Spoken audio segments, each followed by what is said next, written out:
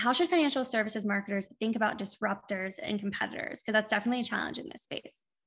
Yes, there is a lot of money in the money business. Mm-hmm. So um, there's a lot, there's always going to be disruptors.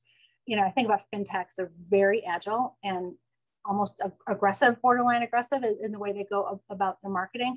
So you have, we have to keep up with these people. So um, my first recommendation is to get your house in order. And by house, I mean your website, because that is the front door of your brand. Yeah. Um, you know, we've on the consumer side, we've gotten so used to Amazon and how convenient it is and how friendly it is.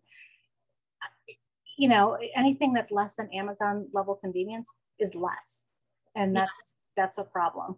Mm-hmm. Um, whether so whether it's fintechs or whether it's your you know your contemporaries uh, that have been in the business for a long time.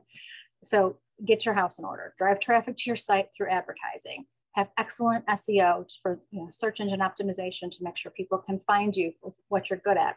Make sure your conversion rate optimization your cro is up to is up is on point so that when they get there that that, that they'll actually convert. And um, finally and i can't stress this enough provide interesting content that adds value um, and that humans want to read so that's my recommendations.